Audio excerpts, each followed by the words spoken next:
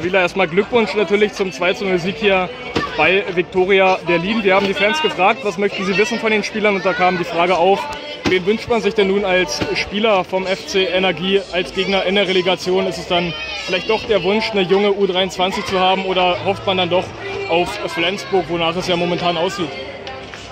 Ja, also ist das schon so, dass man äh, ehrlich sein muss. Man schielt ja schon mal äh, rüber dann in die Regular, äh, Regionalliga Nord und guckt mal, was da passiert.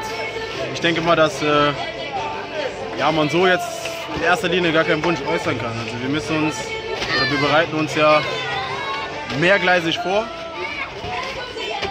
Ja, und das, und das ist es einfach. Also wir müssen halt eben gucken, dass wir auf alles vorbereitet sind. Am Ende heißt es dann, oder wir haben uns zu sehr auf das eine konzentriert und es kommt doch das andere.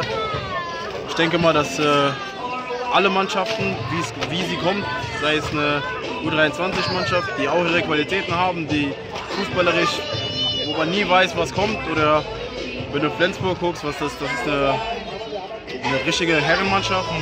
Ist ja alle wahrscheinlich sogar größer als ich oder so groß wie ich. Und äh, da stellt er auch einige Aufgaben. Und deshalb denke ich, dass äh, wir jetzt einfach nehmen müssen, wie es kommt.